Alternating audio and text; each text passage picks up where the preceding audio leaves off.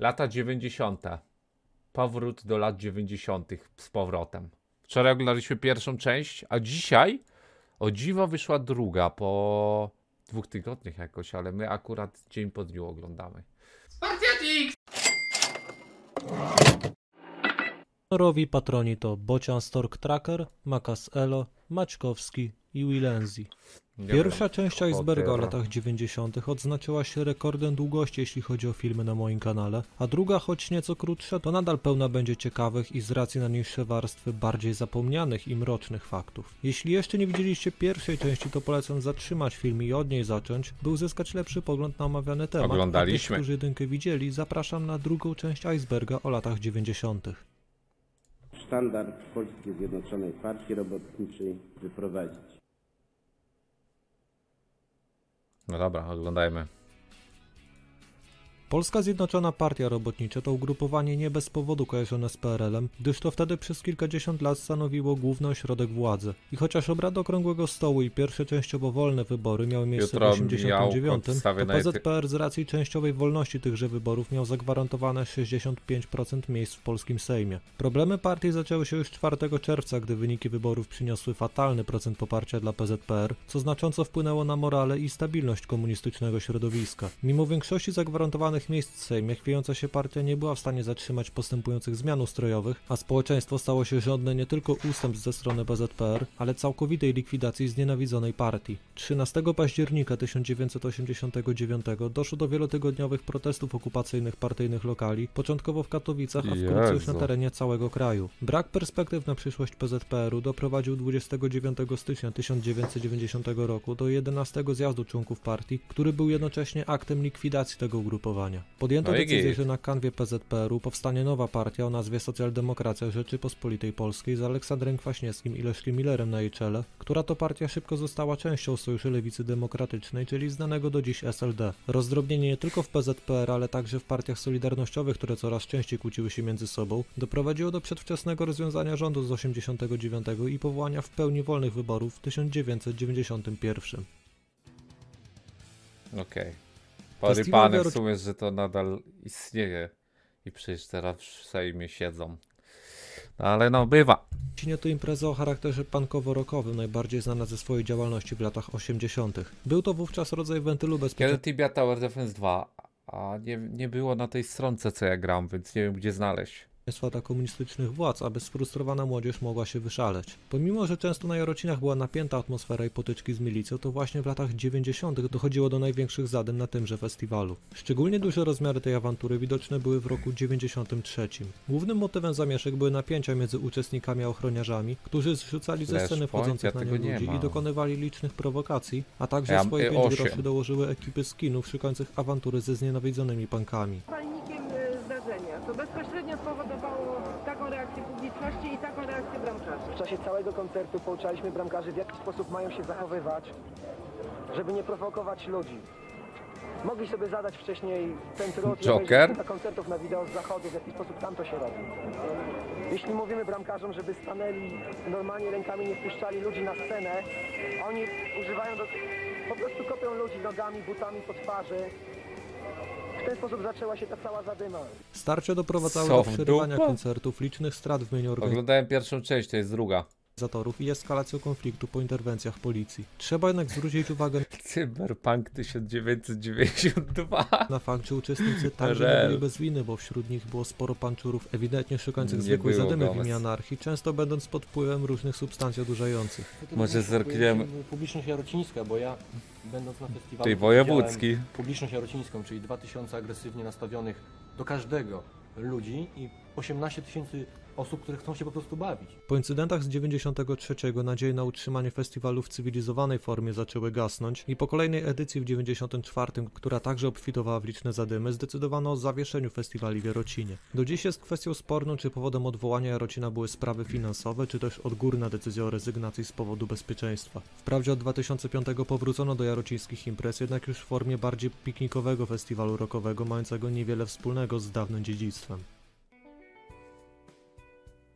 Pluskwa milenijna to zjawisko paniki społecznej związanej z końcem lat 90. Źródłem obaw było odczytywanie dat przez komputery, zwłaszcza w przypadku starszych programów i według teorii wraz z dniem 1 stycznia 2000 roku miało dojść do licznych awarii w działaniu systemów i mowa tu nie tylko o użytkownikach domowych, ale także o poważnych ośrodkach jak systemy bankowe, energetyczne, militarne i telekomunikacyjne. Ja myślałem, że o coś innego będzie chodzić, bo kiedyś takiego dziadka znałem, a ja samemu będąc dziadkiem, nie, wtedy jeszcze dziadem nie byłem.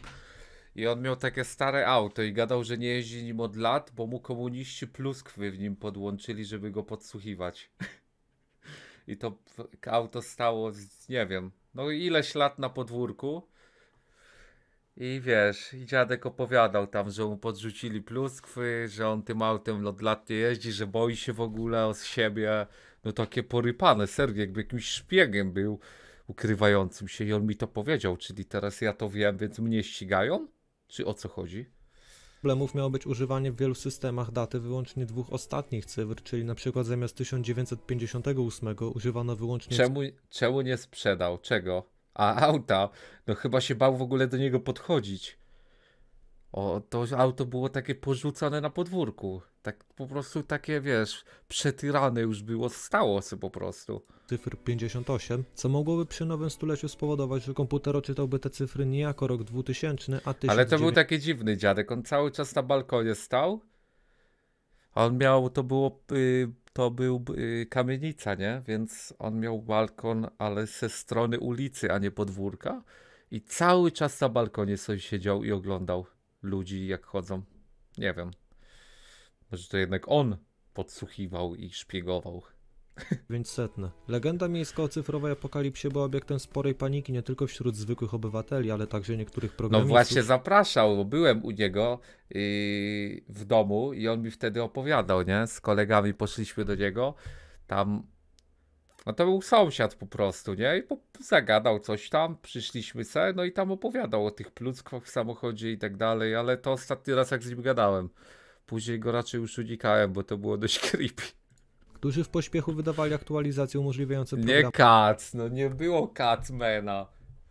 Chyba, że nie pamiętam. Mam poprawny odczyt w kolejnym tysiącleciu. Warto przy okazji napomknąć o popularyzacji różnych sekt w końcówce lat 90., które straszyły ludzi wizją końca świata, jaka ma nadejść wraz z osiągnięciem równych 2000 lat, czego nie pamiętający tamtych czasów widzowie mogli zaznać 11 lat temu, gdy w podobnym tonie głoszono teorię o końcu świata w 2012 na podstawie kalendarza Majów. Nerwowe odliczanie No, do 1 pamiętam. stycznia 2000 roku zakończyło się szczęśliwie niewypałem pluskwy milenijnej i poza pojedynczymi przypadkami błędnych odczytów daty nie niosących za sobą poważnych konsekwencji, Nie, do no to jeszcze miałem nie wtedy doszło. 12 lat. Pajęczno to małe miasteczko w województwie łódzkim, które w roku 1999 zyskało swoje 5 minut sławy, dzięki według niektórych O nie, to jest to. według innych zwykłemu zaciekowi na budynku.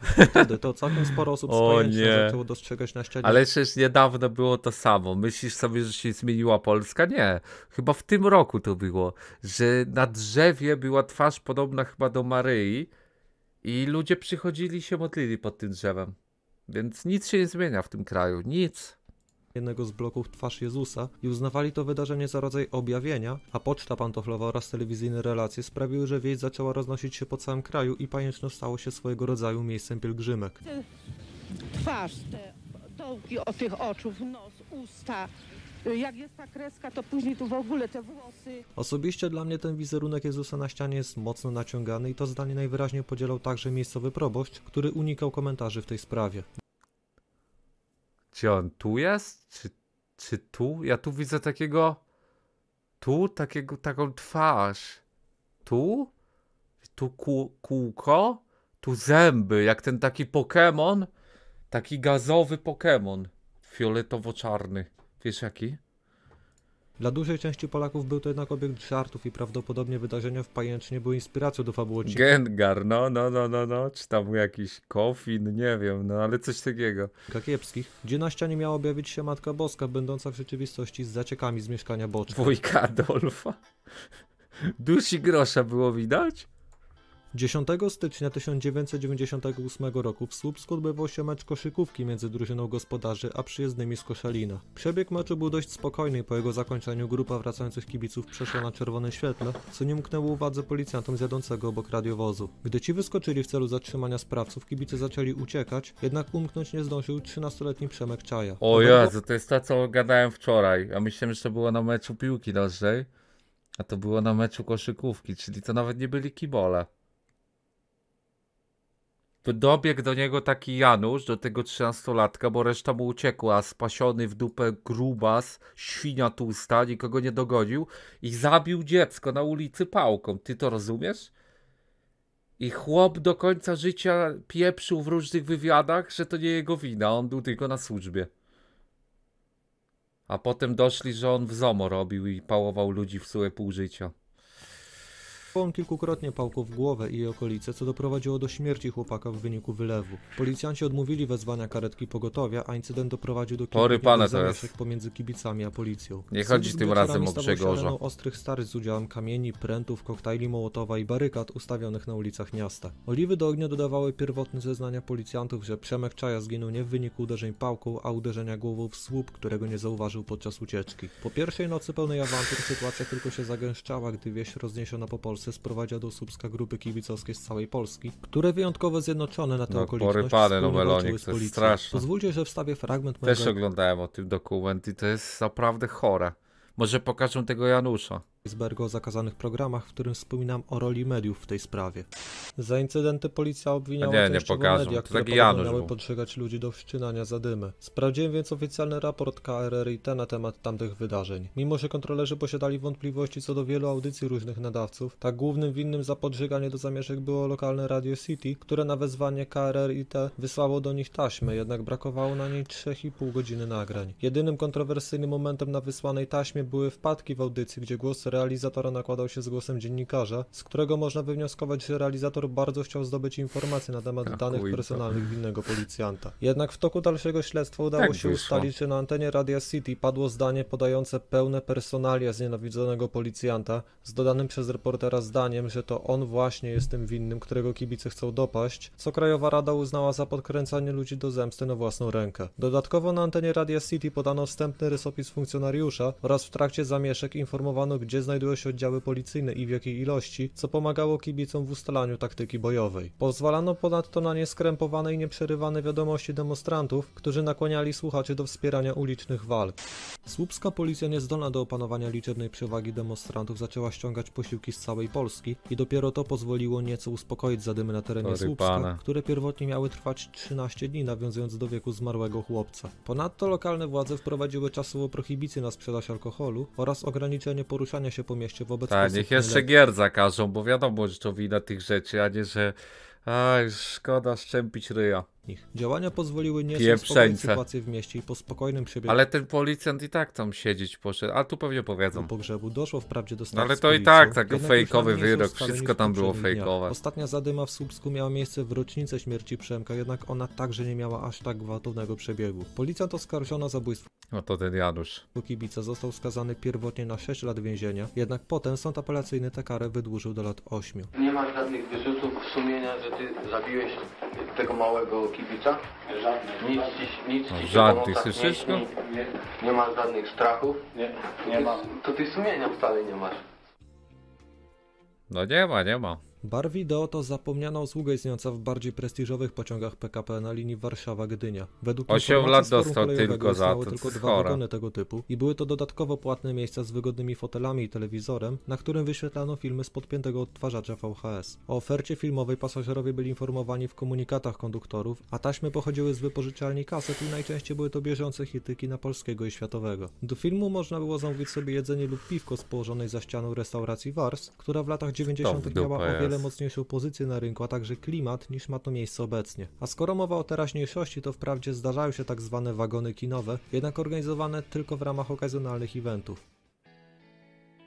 Okej, to wyglądało jak autokar po Artbi, prostu. czyli artystyczny biznes, to spółka handlowa założona przez Bogusława Baksika i Andrzeja Gąsiorowskiego. Firma handlowała bardzo różnorodnymi artykułami, jak m.in. produkty spożywcze, sprzęt RTV, legionista. traktory, dzieła sztuki, a nawet pory broń, pada, na którą no. dostała zezwolenie jako pierwszy prywatny podmiot w Polsce. W roku 89 Bronią handlowali, zakładano firmę, tak o? jej budżet wynosił na obecne pieniądze zaledwie 1000 zł, a w 90 było to już ponad 400 milionów. Panowie nie dorobili się jednak pieniędzy w pełni uczciwie, czego Polacy dowiedzieli się podczas afery Artbi, która wybucha w 1991. Właściciele Artbi byli wtedy biznesowymi celebrytami, robiąc medialną otoczkę wokół wykupienia upadających fabryk Ursusa i lansując się na okładkach gazet. Ich nieuczciwość polegała na tak zwanym oscylatorze ekonomicznym, czyli wpłacaniu czeków na tę samą sumę do wielu banków na No raz wiem, wiem, no czekami. Chodziło o to, że wówczas systemy elektroniczne nie były jeszcze tak rozwinięte, więc zanim bank odnotował przepływ pieniędzy mijało nawet kilka dni, więc Artbi korzystało z wielokrotnych No. Lokaty na pieniądze, które fizycznie nie istniały. Mocną osłoną dla tych biznesów była ochrona Ludzie nieźle abuzowali kiedyś. Gdyż finansowali oni tajną Niczym glicze w grach to były, tylko IRL, te niektóre z rzeczy, które były nowe w Polsce. Mossadu pod kryptonimem Most, polegającą na masowym przejęciu rosyjskiej ludności żydowskiej do. Izraela przez Polskę. Baksik i glicze. uzyskali izraelskie obywatelstwo i gdy sprawa oscylatora stała się głośna i zwróciła uwagę prokuratury, to panowie uciekli do Izraela korzystając z braku ekstradycji. O ile Baksika wsadzono za kratki w 2000, gdyż złapano go w Szwajcarii, tak Gąsiorowski do dziś nie trafił przed oblicze sprawiedliwości, gdyż sprawa zdążyła się przedawnić. Afera Arby Ja była najgłośniejszym skandalem biznesowym początku lat 90. i była przyczyną gruntownych zmian w systemie bankowym, tak aby nie dało się w przyszłości powielać No działań tak, tego typu. masa, no. Inwazja Mocy to coroczny Co to festiwal jest? promujący radio RMFFM odbywający się w latach Hugo? 1995-2000 na terenie całej Polski. Była to seria koncertów w różnych miejscach z motywem przewodnim nawiązującym do znanych filmów jak Gwiezdne Wojny, Indiana Jones lub James Bond. Legionista za komuny to tak dużo ludzi robiło. Przebywajcie. Nie. Moc będzie z tobą! Jezus Maria, ty. Stałym Co motywem jest? festiwalu były także różne nagrody pieniężne, które uczestnicy festiwalu mogli zdobyć znajdując się dzięki wskazówkom podawanym Witam. na antenie lub odszyfrowując kody ze stojących przy scenie sejfów. Inwazja mocy była uznawana za największą kampanię marketingową lat 90., która znacząco wpłynęła na popularność stacji. Jednak w 1996 doszło do incydentu podczas imprezy w Tychach, gdy to Incydent promujący wydarzenie helikopter Grzegorza? się powodując śmierć pilota, co doprowadziło do przerwania wydarzenia. Rok później inwazja mocy także została przerwana z powodu powodzi tysiąclecia, jednak nie oznaczało to zakończenia festiwalu, a kompletną zmianę jego formuły. Zdecydowano o wykorzystaniu ciężarówek, wozów transmisyjnych i helikopterów do pomocy powodzianom, a nazwę festiwalu od tej pory zmieniono na Festiwal Pomocy. O ile pierwsza edycja z 95 była dość amatorska i koncerty dla małej publiczności prowadzono z naczepy ciężarówki, tak kolejne odsłony obfitowały w największe gwiazdy polskiej muzyki, a darmowe wejściówki sprawiały, że na inwazjach mocy gościły prawdziwe tłumy. Oprócz muzyki pojawiały się liczne atrakcje jak wesołe miasteczka, rekwizyty związane z filmami będącymi motywem przewodnim, pokazy fajerwerek i spotkania z celebrytami. O skali popularności festiwalu może świadczyć fakt, że ostatnia edycja w roku 2000 z koncertem zespołu Scorpions w roli Gwiazdy Wieczoru przyciągnęła do Krakowa 800 tysięcy osób. Dlaczego więc kolejne edycje się nie odbywały? Boże. RMFFM argumentuje rezygnację decyzjami KRRIT, które odebrało im koncesję na nadawanie pasm regionalnych, co według nich uniemożliwiało sensowną organizację festiwalu.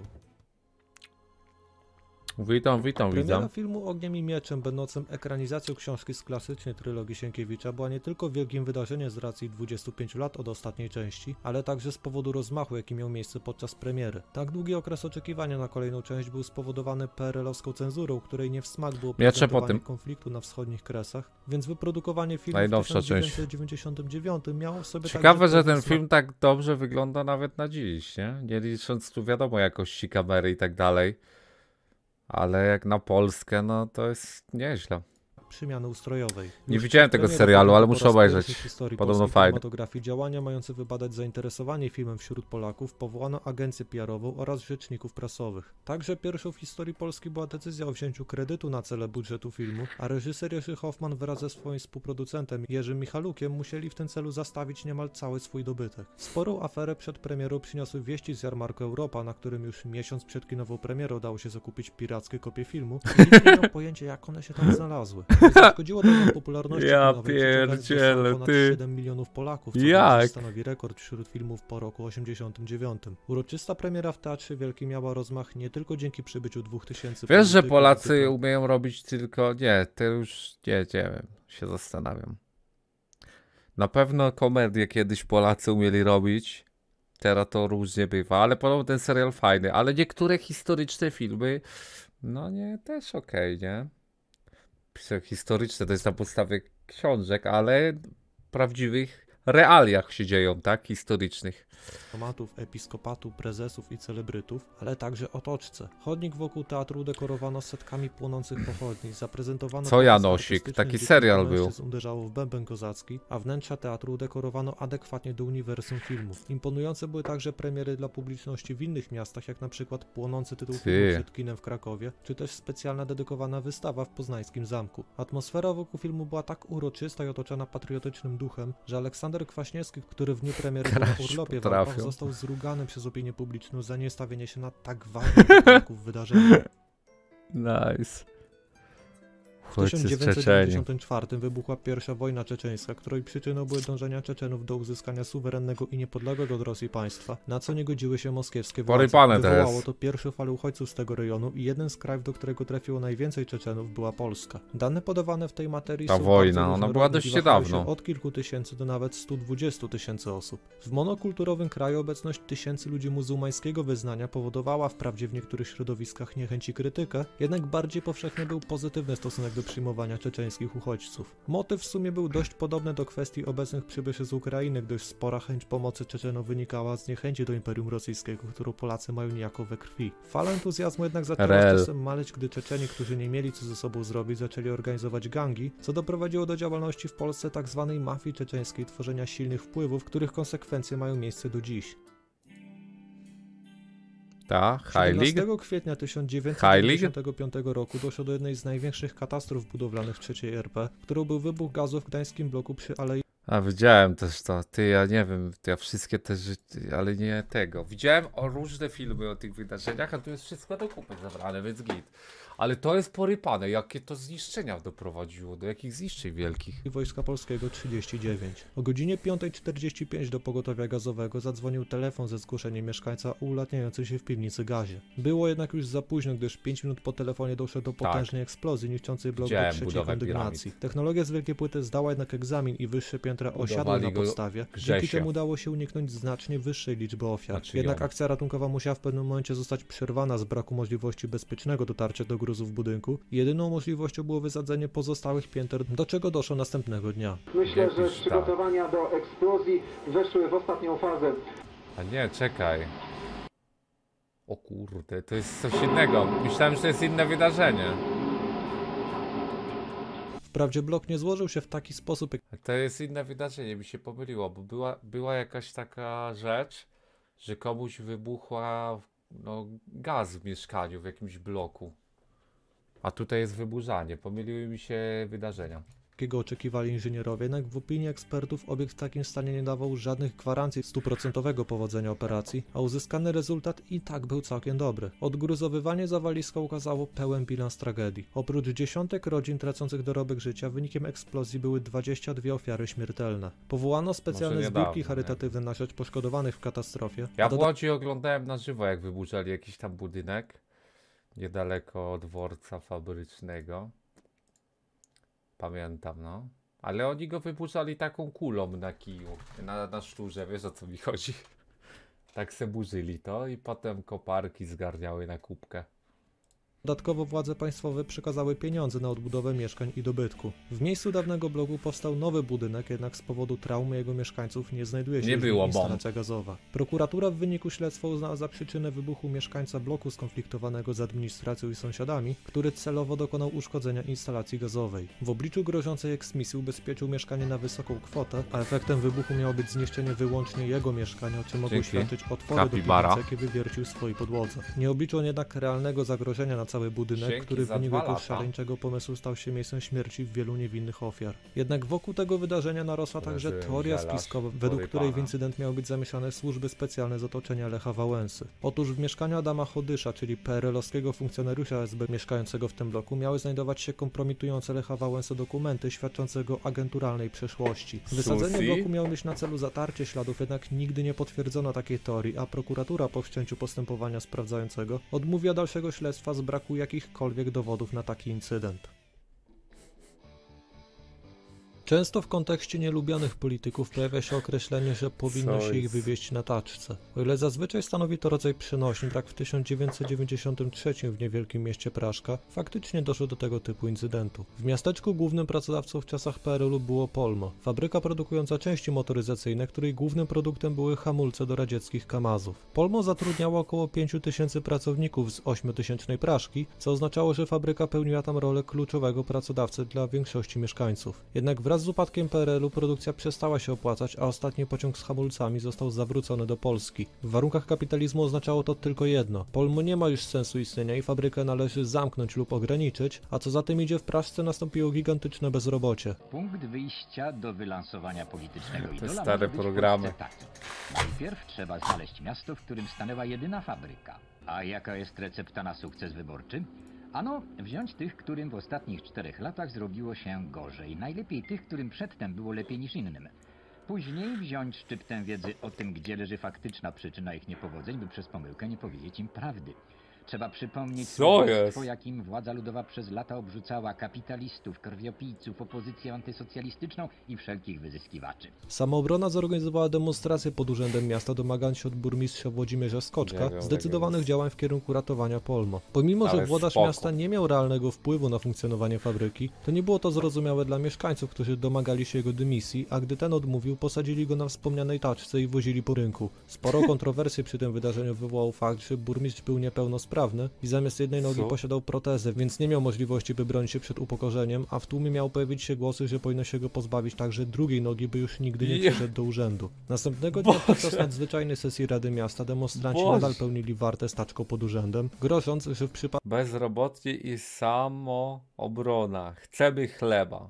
Git. przypadku nierozwiązania sprawy Polmo będą nią wozić wszystkich radnych. Finalnie burmistrz i radni poddali się do dymisji, jednak nie wpłynęło to w żaden sposób na kondycję lokalnej fabryki. Praszka zaczęła przeżywać swoje chude lata. Obarczona 30% bezrobociem doprowadziła do frustracji mieszkańców zarówno na Solidarność, którą winili za nieudolną transformację ustrojową, jak i na samoobronę, którą zaczęli postrzegać jako ugrupowanie chcące się tylko wybić medialnie na lokalnej aferze, winiąc ją za brak rezultatu protestu. Moje miasto to Białystok, Oho. a moje życie to Białystok. Smutne czasy, Białystok, rok porybane, no. 1990. Miejskie przedsiębiorstwo komunikacyjne znajduje Bo się w właśnie te poważnych małe miasta, miasteczka no najbardziej oberwały przy zmianie systemu, nie? tarapatach finansowych. Tak jak było w z tym urzędu przypadku, miasta że wszyscy bezrobotni, w sumie co oni mają tam robić? Oraz wpływy z biletów pasażerskich są w stanie pokryć około Fabrykę 60% zamknęli i kosztów. Spółka postanawia podjąć radykalne kroki w celu oszczędzania, obcinając premie i podwyżki, a rozkład jazdy zostaje zubożony z powodu wycofania kilkudziesięciu autobusów. Mimo i tak wysokich cen biletów, miasto jedyny ratunek widzi w dalszych podwyżkach, by załatać dziurę budżetową, co nie podoba się nie tylko mieszkańcom Białego Stoku, ale także pracownikom MBK. 13 maja 1991 roku powołują komitet strajkowy i prowadzą negocjacje z władzami. Wszystko wskazuje na pokojowe rozwiązanie sprawy. Spółka MPK zostaje rozwiązana i w jej miejscu pojawiają się nowe twory z nowymi dyrektorami, przez co dochodzi do podpisania porozumienia. Jednak wkrótce dochodzi do wydarzenia, które na dwa miesiące zmieni życie mieszkańców Białego Stoku. Przedsiębiorstwo podejmuje decyzję o zwolnieniu aż 250 kierowców, na co ostro reaguje zarówno zwolnienie, jak i solidarytet Miasto, autobusy, dzieciom chleb. Kolejna Związku się z walka. nimi koledzy po fachu. Z dniem 2 lipca autobusy miejskie znikają z ulic Białego Stoku, a dramatyczną sytuację próbuje ratować wojsko, organizując dla mieszkańców zastępczy transport wojskowymi ciężarówkami, a także firmy prywatne wożące Nie wiem, Białostoczem Renamo, busami. co to Strajkujący jest. po... Dzięki za 47 lat. Dziękuję bardzo. Ujął tymczasowy zarząd robotniczy okupujący zajezdnię autobusową, jednak ich plany sięgają znacznie dalej. Komitet strajkowy ogłasza przyjęcie majątku MPK i samodzielne funkcjonowanie komunikacji miejskiej. Komitet zamierza przyjąć autobusy i stworzyć własne rozkłady jazdy, bilet oraz logistykę firmy, jednak plany krzyżuje im miasto, odcinając dostawy prądu i benzyny do zajezdni. Do pierwszej próby policyjnej interwencji w zajezdni dochodzi dopiero 28 sierpnia, jednak opór strajkujących blokuje plany i dopiero druga akcja 2 września kończy się powodzeniem. Kilka dni później dochodzi do pokojowych negocjacji, w wyniku których powstają trzy podmioty zajmujące się komunikacją miejską, a strajkujący otrzymują dyrektora z ich nadania oraz Ale brak kopciuchy. konsekwencji za prowadzony protest. Reklam, które w? Polsce wywołują kontrowersje było wiele, jednak to kampania Benettona wywołała pierwszy tak wielki skandal na ulicach. Ta marka odzieżowa do dziś słynie z kontrowersyjnych reklam, jednak w 1991 była to pierwsza tego typu kampania w Polsce było? z okazji wejścia sklepu Palce? Benettona do naszego kraju i prezentowała zdjęcie księdza całującego się z zakonnicą. O, wiedzieli jak podburzyć Polaków wtedy. Wejścia sklepu Benettona do naszego kraju i prezentowała zdjęcie księdza całującego się z zakonnicą. W większości miast billboardy nie zostały wywieszone w ogóle z powodu sprzeciwu władz miejskich, a w Katowicach wytrzymały zaledwie 3 godziny. Zdjęcie utrzymało się najdłużej w Warszawie, gdyż wisiało tam aż 24 dni, jednak stolicy także zostało po tym czasie zakazane z powodu protestów organizowanych przez Zjednoczenie Chrześcijańsko-Narodowe, które dopatrywało się w plakacie obrazy uczuć religijnych. Z racji na bardzo krótki Nie, obraza uczuć religijnych to jest y, dziwna rzecz. czas istnienia tej reklamy, Powiem tyle, żeby wiesz, jakby nie wywoływać gówno burzy. udało mi się znaleźć żadnych jej zdjęć, gdy wisiała na ulicach któregoś z polskich miast i dlatego dałem ten temat tak nisko, bo pewnie bardzo mało osób pamięta o tym krótkim, ale dość intensywnym skandalu obyczajowym. Kwestia Gdy w Litwy. 1989 upadał komunizm w Polsce, a reszta krajów bloku wschodniego szykowała się powoli do przemian, na terenach istniejącego jeszcze Związku Radzieckiego panowały dość burzliwe nastroje. Przykładem, który dość mocno wpłynął na nastroje w Polsce były wydarzenia z początku Przepraszam, pajojo. 1991 roku na Litwie, gdy to wraz z Nowym Rokiem coraz więcej Litwinów domagało się odłączenia od ZSRR i powołania suwerennego państwa, co doprowadziło 13 stycznia do inwazji radzieckich wojsk na Wilno, w wyniku której zginęło 15 osób. Incydent Jezu. wywołał głośną dyskusję w Polsce i obawę o to, że Moskwa nie akceptując zachodzących przemian może próbować podobnej interwencji w naszym kraju, co było podsycane faktem, że wojska radzieckie nadal u nas stacjonowały. Zwracam się do wszystkich Polaków, dla których Republika Litewska jest ojczyzną. Imperium Moskiewskie, łamiąc wszelkie prawa czasie. międzynarodowe, łamiąc wszelkie normy moralności ludzkiej, nie mając innych argumentów przeciwko dążeniom narodom, narodów ku wolności, brutalną, stosuje brutalną siłę zbrojną, gwałt i przemoc. Działacze licznej mniejszości polskiej na Litwie jednoznacznie opowiedziały się po stronie niepodległości, a reprezentujący tą mniejszość Czesław Okińczyc apelował w polskim Senacie o pomoc i uznanie I tam niepodległej mroczek. Litwy jako osobnego kraju. W podwarszawskim hotelu Zajazd Napoleoński zorganizowano Biuro Informacji Republiki Litwy, którego celem było utrzymanie łączności telefonicznej na linii Warszawa-Wilno, co polityk Zbigniew Janas uznawał za pewnego rodzaju siedzibę rządu litewskiego na uchodźstwie. W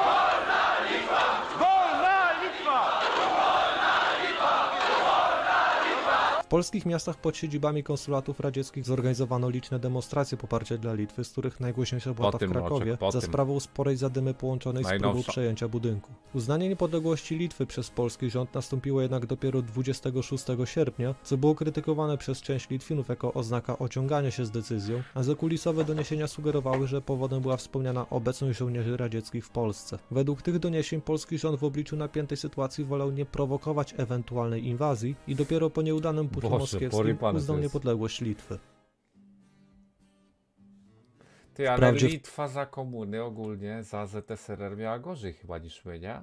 Bo oni należeli do ZSRR. To, to cię też w sumie nie dziwne, że później się uwolnili, ale no, porypana sytuacja. Tematyce transportu mówiłem już o strajku w Białymstoku, który na dwa miesiące sparaliżował miasto, jednak ten protest wpłynął na całą Polskę. 17 czerwca 1998 roku nieoczekiwanie Lepiej było w ZSRR niż w Polsce, no ale pod koniec to na pewno było gorzej, jak już te państwa coraz bardziej i bardziej naciskały na to. No widzisz, przy ich najechali, żeby wybić to z głowy. Chore. Wybuchł strajk 12 tysięcy członków Związku Zawodowego Maszynistów Kolejowych. Wiele pociągów towarowych, herbata. regionalnych i Albo podmiejskich na terenie całego kraju kursowało z ogromnymi opóźnieniami lub całkowicie przestawało one jeździć. Protest powodował pogorszenie sytuacji z godziny na godzinę, gdyż maszyniści nie biorący udziału w proteście musieli z racji na przepisy zakończyć pracę po określonej ilości godzin. I streamie, wprawdzie ta, pociągi dalekobieżne zaliczyły tylko różnej długości opóźnienia, ale problemy w ruchu kolejowym były wielką zagadką nie tylko dla pasażerów, ale i pracowników kolei, którzy nie mieli pojęcia jak długo potrwa protest i ile pociągów będzie nim objętych. O chaosie panującym na dworcach może świadczyć wypowiedź pracownicy punktu informacji, która stwierdziła Nie wiem, nikt nie jest w stanie dokładnie określić, Witam. kiedy ten i jakikolwiek inny pociąg albo przyjedzie, albo odjedzie. Skutki protestu były odczuwalne w zależności od siły struktur związkowych w danym regionie Polski, ale dla przykładu Dziennik Polski podawał, że w Tarnowie ze 180 maszynistów strajkowało aż 150. Protest dobiegł końca po 88 godzinach, przynosząc straty dla PKP szacowane na około 50 milionów co przewyższyło nawet kwotę, jaka pokryłaby oczekiwania strajkujących. W większości ta demonstracja została źle przyjęta przez społeczeństwo, głównie z powodu jej nagłego charakteru uniemożliwiającego planowanie podróży. No niestety. Występy Co? polityków w reklamach z racji na ich zawód są tematem tabu, więc głośnym echem odbija się obecność Aleksandra Kwaśniewskiego w reklamie tego. Mebli Forte z 1998. Była to reklama prasowa, w której zarząd firmy pochwalił się swoim wejściem na rynek azjatycki, a nad zdjęciem pracowników widniała podobizna Kwaśniewskiego z podpisem prezydent powinien być zadowolony. Według rzeczniczki prasowej prezydent wyraził osobiście zgodę na udział w tej reklamie, gdyż miało to na celu promowanie polskiej gospodarki w Azji, a Kwaśniewski dodał, że nie widzi nic złego w promowaniu dobrej firmy. Są trzy reklamy, które brzmią prezydent powinien się cieszyć, premier powinien się cieszyć, parlament powinien się cieszyć, że rozwija się eksport. To jest cała idea tej reklamy. Tak było 3 lutego, a już 10 dni później prezydent zmienił narrację, twierdząc, że jego wizerunek pojawił się bez jego zgody i zamierza wyciągnąć odpowiedzialność osób z kancelarii, które miały złożyć podpis pod dokumentami. Kampanię reklamową krytykował także Ryszard Kalisz, będący wówczas doradcą prawnym Kwaśniewskiego, co tylko komplikuje całą sytuację w szukaniu winnego. No nie, no to w ogóle jest skandal. No nie, no Fortes, Kuba, no na pewno jest zdjęcie pana prezydenta, nie no, wykorzystywanie prezydenta w reklamie uważam jest co najmniej niewskazane. A, no i jeszcze dochodzi sprawa szwagra Jolanty Kwaśniewskiej, który prowadził jeden z salonów Forte. Jednak całe to zamieszanie okazało się Boże. bardzo pozytywne dla samej marki mebli Forte, gdyż Witam, świadomość jo nie społeczna na temat ich istnienia wzrosła do 84%, a ich słupki giełdowe podskoczyły o 10%. A to wszystko za jedyne 12 tysięcy złotych, bo właśnie tyle sklep meblarski zapłacił za publikację sponsorowanej wrzutki na łamach Gazety Rzeczpospolita. Tory pana. No to teraz ciekawostka, o której poza miłośnikami numizmatyki raczej praktycznie nikt obecnie nie wie. W pierwszej części iceberga wspominamy o nowych banknotach, jakie weszły z rokiem 95, jednak istnieją prototypy banknotów stworzone w 1990, które miały wejść dwa lata później, gdyż pierwotnie to w 92 miało dojść do denominacji. Ciekawy jest fakt, że zamiast To królów lub znanych postaci z historii Polski, na banknotach znajdowały się różne polskie miasta, nie tylko te duże jak Wrocław, Gdynia czy Warszawa, ale także te mniejsze, lecz odgrywające dawniej ważną rolę historyczną, czyli przykładowo Gniezno i Zamość. Warto także zwrócić uwagę na nominały tych banknotów, które miały zaczynać się już od złotówki, co oznaczało, że najpewniej monety wówczas albo nie były planowane w ogóle, albo co bardziej prawdopodobne miało ograniczyć się wyłącznie do nominałów groszowych. Dlaczego jednak Ciekawa. nie doszło do obiegu tychże banknotów? Plany denominacji na rok 1992 z racji nadal nieustabilizowanej gospodarki nie powiodły się, a ponadto eksperci doszukiwali się problemów z wyglądem Nie, no i banknotów, on nie chciał, one będzie ich tak. zdaniem zbyt słabe zabezpieczenie przed fałszowaniem, a ponadto różnice w detalach godła i brak napisu Rzeczpospolita Polska łamały zasady banknotów. Jednak skoro już tutaj jestem, to warto poruszyć kwestię pewnej legendy miejskiej. Jak dobrze wiem, od 2017 w obiegu krąży banknot o nominale 500 zł z Janem Sobieskim, który chociaż do dziś jest rzadko spotykany, to jednak jest obiegowym, oficjalnym środkiem płatniczym. Jednak zanim to nastało, to po internecie krążyła informacja, jakoby w 95 miał także powstać ten banknot o nominale 500 zł, jednak z nieokreślonych powodów go nie wprowadzono. Sprawie głos Ty, zabrał Narodowy czyli na Bank Polski, 1000 który obwieścił, to będzie. projekt artystyczny Andrzeja Heidricha, zmarłego w 2018 grafika znanego z ilustracji książek i tworzącego projekty znaczków pocztowych oraz banknotów właśnie. Ta. Piotr Jaroszewicz to postać dość kontrowersyjna z racji swojej obecności w strukturach PZPR. Już od lat 50. zaczął piąć się po szczytach kariery zarówno urzędniczej, jak i wojskowej, ale jego szczyt przypada na lata 70., gdy to przez pełną dekadę od 1970 do 1980 pełnił funkcję premiera PRL-u ściśle Chyba powiązanego z. Gierkiem, za co został rok później internowany wraz z wybuchem stanu wojennego. Po wyjściu na wolność porzucił karierę polityczną i w 91 udzielił wywiadu rzeki o swoim życiu do książki pod tytułem Przerywam milczenie. Jednak Fajne, rok później, to może. 1 września 1992 roku, były premier wraz z jego żoną zamilkli jednak już na zawsze. W nieznanych okolicznościach Tak, włamywacze nocą z no. sierpnia na wrzesień wtargnęli do ich domu, gdzie przez kilka godzin brutalnie ich torturowali, a nad ranem przerwali żywot Jezus małżeństwa. Wtargnięcie nie miało charakteru rabunkowego, gdyż pieniądze, biżuteria i przedmioty pozostały nienaruszone, a jedynym skradzionym obiektem były dokumenty z gabinetu Jaroszewicza, które według syna ofiary były prywatnymi notatkami. Tygodnik wprost doszukiwał się motywów zbrodni w okresie końca Tak, II wojny światowej. Hipoteza zakłada, że pałac w Radomierzycach skrywał liczne dokumenty Głównego Urzędu Bezpieczeństwa Rzeszy, które miały zawierać tajne informacje o rodzinie Co? Rothschildów oraz kolaboracji Francji z III Rzeszą. Materiały Ej, ale to jest chociaż potwierdzone, czy takie, jak on mówi, miejskie legendy? No to ciekawe. Chwycić Jaroszewicz wraz z kilkoma nieznanymi oficerami i przekazać je Sowietom. Tą teorię podzielało Biuro Wywiadu Komendy Głównej Policji, dodając, że według informacji w tajnych dokumentach miały widnieć treści kompromitujące człowiek Ja widziałem kiedyś ciekawą y, tą, y, taką jakby zapomnianą historię. Jakiś typek od Adolfa H. był, do Wielkiej Brytanii się dostał, rozumiesz? Bo mieli tam pokój podpisywać tuż przed końcem wojny, a tego typa zamknęli i do końca życia siedział w więzieniu w jakimś pałacu. Nie wiem o co chodzi, ale normalnie są nagrania z takim dziadem. Tylko to jest mega creepy, ale to odtajnione ma być pewnie w 2100, to ja już chyba wykituję do tego czasu sadgę. polityków europejskich krajów. Dwa lata po Ale da się to znaleźć normalnie, to nie jest jakaś teoria spiskowa, tylko normalnie są nawet nagrania z tym typem. On był tam jakiś ważny, ale nie wiem czemu jakby go zamknęli, w ogóle nie było rozmawiane, tak o. I do końca życia siedział.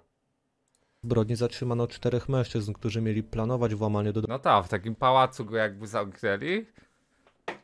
I tyle, nie? Ale spory pan, on się tam dostał do Wielkiej Brytanii jakimś dziwnym sposobem.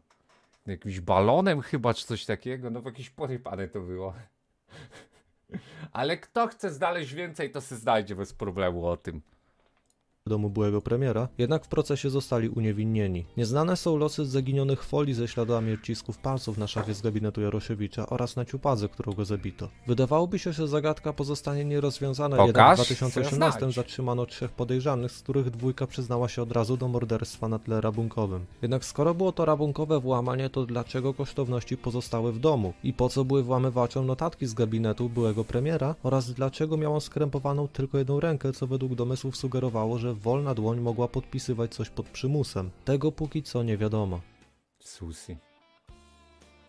Czym byłaby przedostatnia warstwa iceberga o latach 90. bez wspomnienia o sekcie? Niebo lub jeśli wolicie pełną nazwę Zbór Leczenia Duchem Świętym to grupa religijna założona w 1990 przez bioenergoterapeutę Bogdana Kacmajora. Był on znany już w latach Kacmen.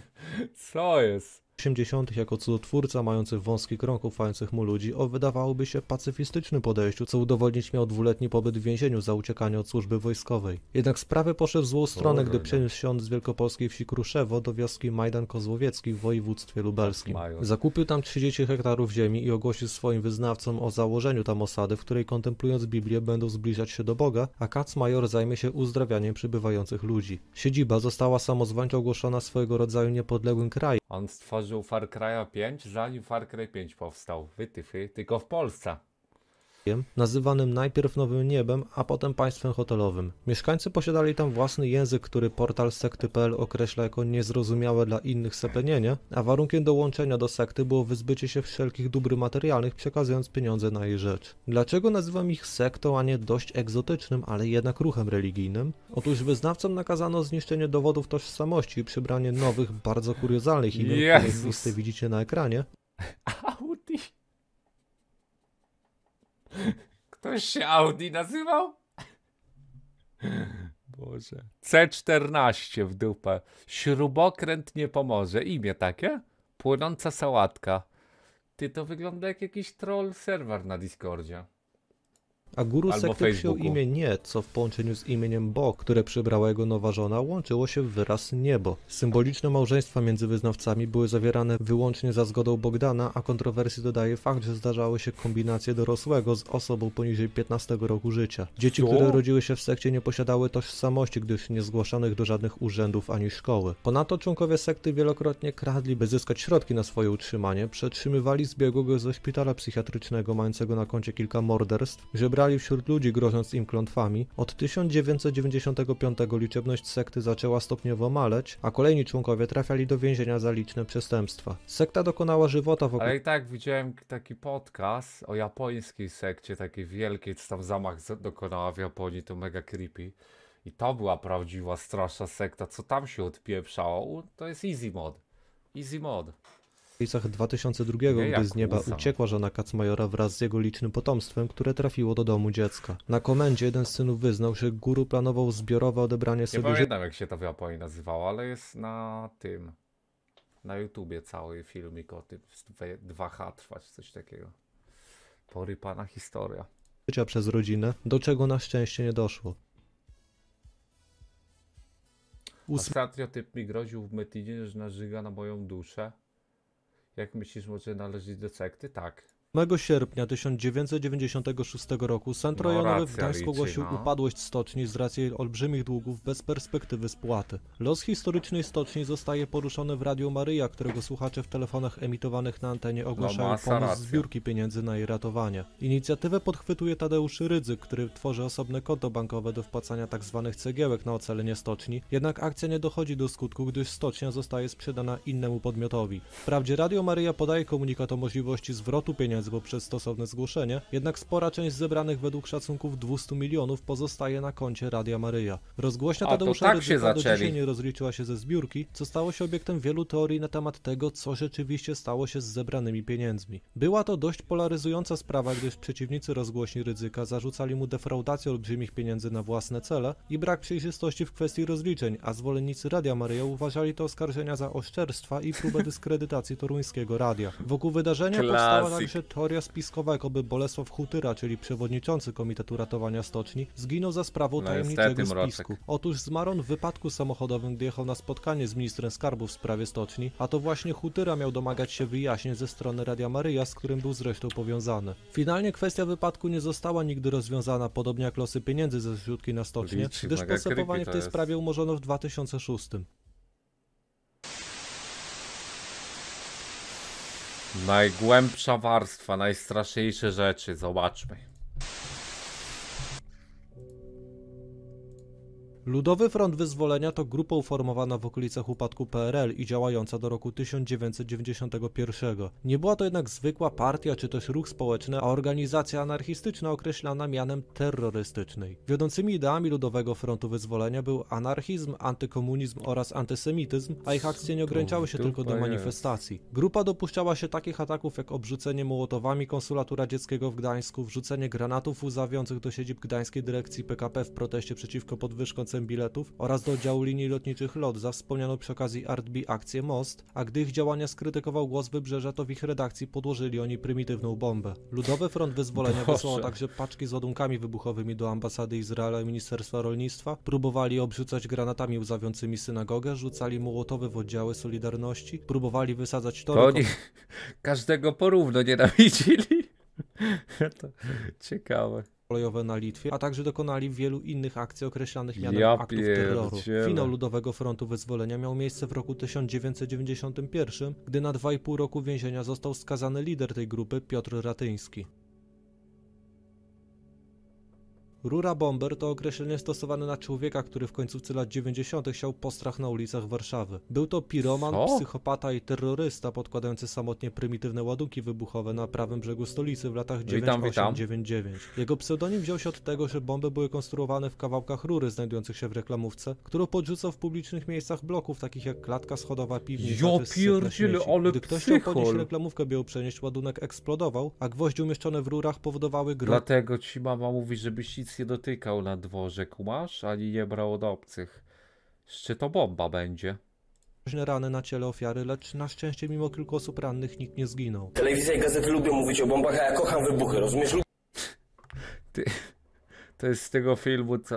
A, Speedbull, no. No właśnie chciałem się zapytać, ale jest opisane. O bardzo podobny styl, jak z tym Boszem. Znaczy z serialu, no.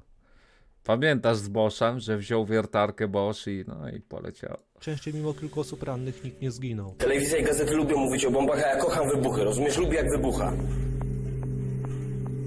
Rura Bomber łącznie podłożył wiele ładunków tego typu w ciągu kilku miesięcy, z których pierwsze cztery Witam, znajdowały się w blokach, ale później jego zuchwałość zaczęła rosnąć i umieszczał je w miejscach publicznych, np. w pociągu czy na moście Poniatowskiego. Zamachowiec nie posiadał żadnych sensownych motywów zbrodni, nie zostawiał listów z manifestem, nie żądał okupu, a śledczy nie widzieli jego powiązań z którąś z mafii. 19-latek został zatrzymany po kilku miesiącach swojej działalności i postawiony przed sądem, gdzie nie tylko nie okazywał żadnej skruchy, ale wręcz cieszył się ze swojej medialnej popularności i z uśmiechem opowiadał o swoich chorych Ty wiesz, że on. Dobra, trochę jak boomer zabrzmi to. Już mi to zabrzmiało w głowie. Wiesz, że chciałem powiedzieć, że dostałby walkę w dzisiejszych czasach na fame, ale to brzmi boomersko. Chyba by tak jednak nie było. Dzięki Korisus za 11 lat.